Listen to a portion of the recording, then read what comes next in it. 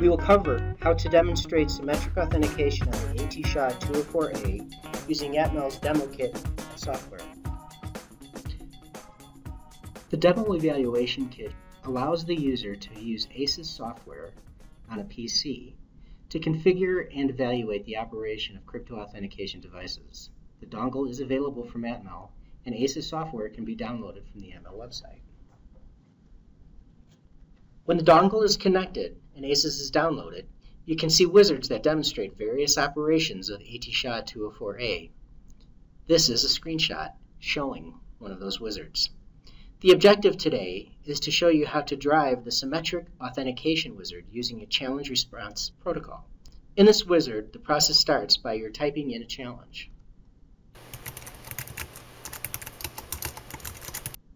Note that the ASCII representation of the typed challenge is shown in the challenge bytes area on the screen.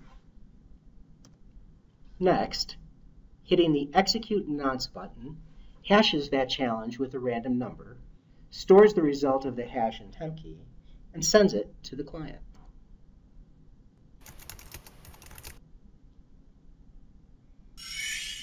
The random number that is used in that operation is shown in the nonce randout bytes on the screen.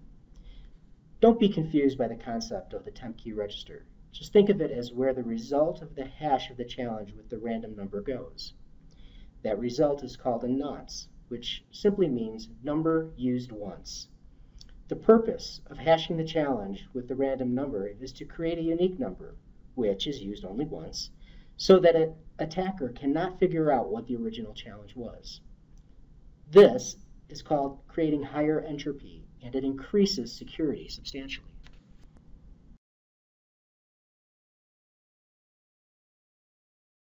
Step 2 of the wizard is the execute MAC function. That is used to get the MAC response. MAC again means message authentication code.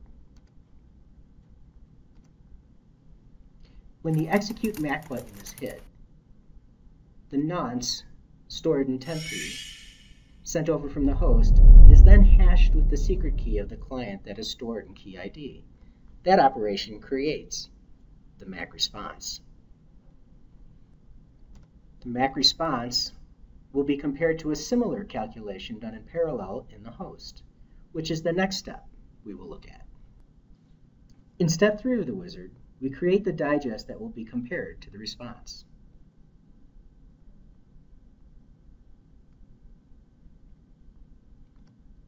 Hitting the Execute MAC button hashes temp key, the nonce, and the secret key in key ID on the host to create the host digest. If the host digest and the MAC response from the client match, then the client is verified as being real. And that is the heart of symmetric authentication. In summary, hashes are made on both sides If the client is real, then the inputs will be the same on both sides and the calculations will be the same. Check MAC is the function that formally makes that comparison. The basis of this MAC validate concept is very simple and relatively little computation is required, making symmetric authentication fast. Speed is one of the trade-offs to be considered when choosing symmetric or asymmetric